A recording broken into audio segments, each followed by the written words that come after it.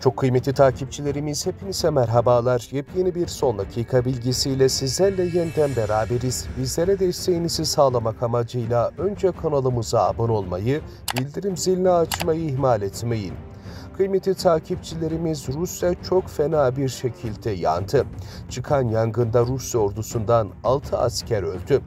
Rusya devletinin Kurus bölgesinde siperde çıkan yangında 6 askerin öldüğü bugün itibariyle açıklandı.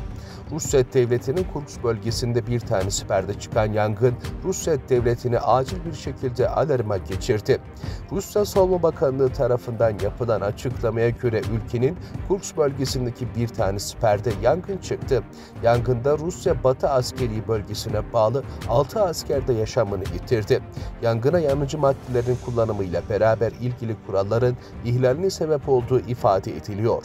Kıymetli takipçilerimiz ayrıca Hollanda devletinden Rusya-Ukrayna savaşı ile alakalı korkudan bir öngörü ortaya çıktı. Hollanda Dışişleri Bakanı Wopke, Rusya-Ukrayna savaşının uzun bir süre devam edeceğini söyleyerek daha yolun yarısında bile değiliz ifadesinde kullandı. Değerli takipçilerimiz medya kuruluşuna verdiği röportajında Ukrayna'ya askeri yardımların hız kesmeden devam etmesi gerektiğini de iyi ekledi.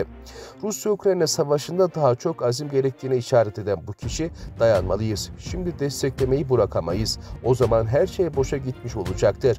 İkinci Dünya Savaşı'nın da çabuk biteceğini zannediyorlardı. Daha yolun yarısında bile değiliz ifadesinde bulundu.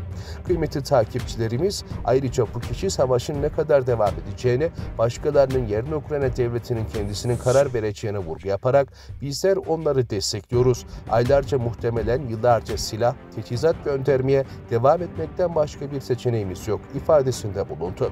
Bir videomuzun daha sonuna geldik. İlerleyen saatlerde buluşmak ümidiyle.